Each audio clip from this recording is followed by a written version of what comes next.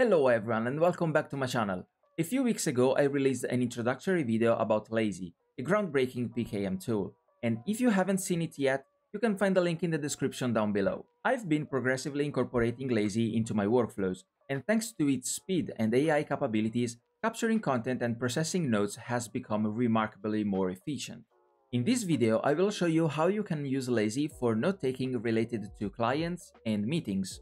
But before we start, don't forget to hit that subscribe button and ring the notification bell so you'll never miss any of my future content. And now, let's get started. First of all, I think it's important to show you two main sections in Lazy, the people and the journal sections. Let's start from the people one. You can open the people section with G and then P. Whenever you capture a content like a tweet, a video, an email, and so on, Lazy also captures the author of that content and create a sort of profile in here. For example, let's say I want to capture a Twitter thread. I can press Command L, then Command plus Shift plus C to embed the content, and lastly, Command plus Enter to capture it. I can press Command I to open the notes I just created, and as you can see here on the right, I have the author. If I click on the name, I open the profile page that Lazy automatically created. Here on the right, you have other information. In this case, since I captured the content from Twitter, Lazy automatically retrieved the Twitter handle, and if I click on it, it opens the Twitter profile.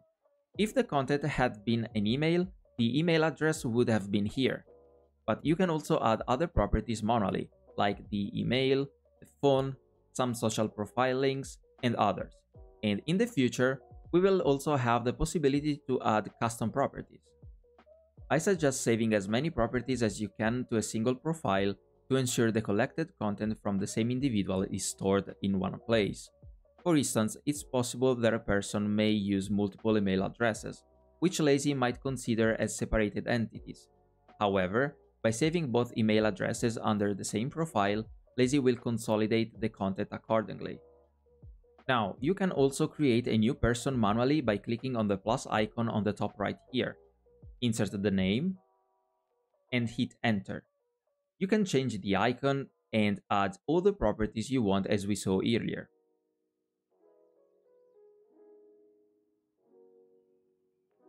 Lastly, one of the best, if not the best aspect of this section is the timeline view.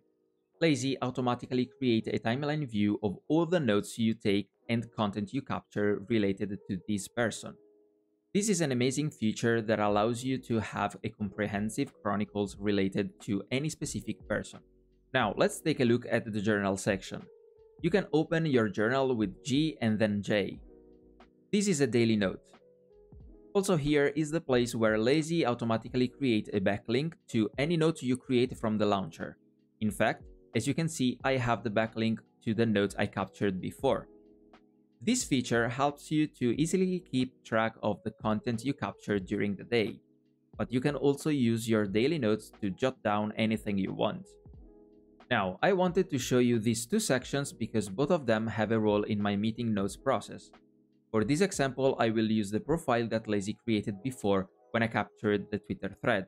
But let's assume that you received an email from a potential client requesting a discovery call. You open the email and the first thing you can do is to capture it by pressing Command plus L, then Command plus Shift plus C to embed the email, and then Command plus Enter to capture it. If you go back to Lazy, you will have the email directly inside the profile of the person that Lazy automatically created during the capturing process. From here, you simply start taking notes about that person. For example, in this situation, I answered to the request with an email asking the reasons that led him or her to book a session with me, so we can get the most from our discovery call. Depending on the answer, I write some agenda items right here inside the client page. At the moment, this is just a quick capture, but once we decided the date for our call, I will turn this capture into a note by pressing Ctrl plus N. And as title, I can write something like discovery call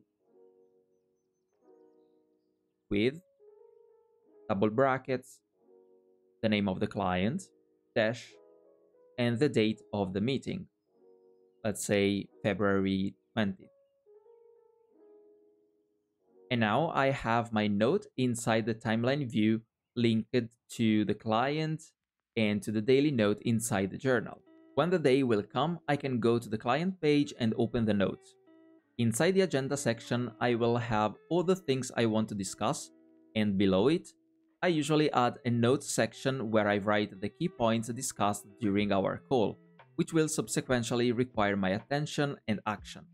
At this point, I want to send a follow-up email. After you sent it, you can capture it and it will be automatically added to the timeline view inside the client page in Lazy. And you continue to do that for every communication with that person. At the end, it's all about using a couple of shortcuts and Lazy will take care of all the rest. And that's all for today, folks. By following this process, you will always be prepared for meetings.